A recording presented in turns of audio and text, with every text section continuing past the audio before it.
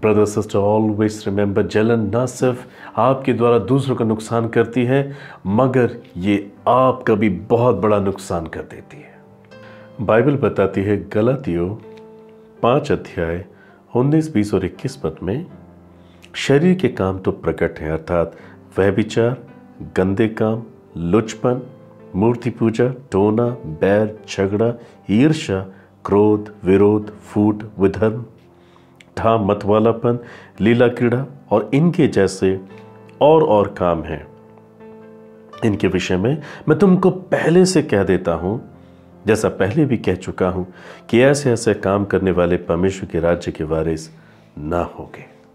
Brother sister jealousy is a fruit of flesh जलन शरीर का कार्य है।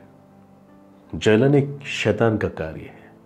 Jealousy is a fruit of flesh और जितने लोगों के अंदर जलन पाया जाता है, जितने लोग जलन की आत्मा से ग्रसित होते हैं, वो परमेश्वर के राज्य के वारिस नहीं हो सकते।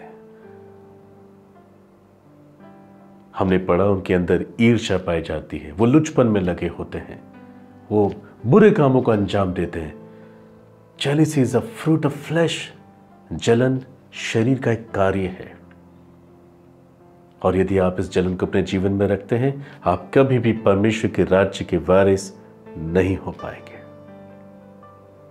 ना सिर्फ़ आप ये ना कहें कि मैं जादू टोना नहीं करता, मैं बैर नहीं करता, मैं किसी के साथ बुरा नहीं करता, मगर ईर्षा करना, जलन रखना, परमेश्वर की सारी व्यवस्था को तोड़ देना है, परमेश्वर के सारे नियमों का विरोध करना है, उसकी आज्ञा को कुचल देना है। जलन शरीर का कार्य है, शरीर की क्रिया है। Jealousy is a fruit of flesh my brother sister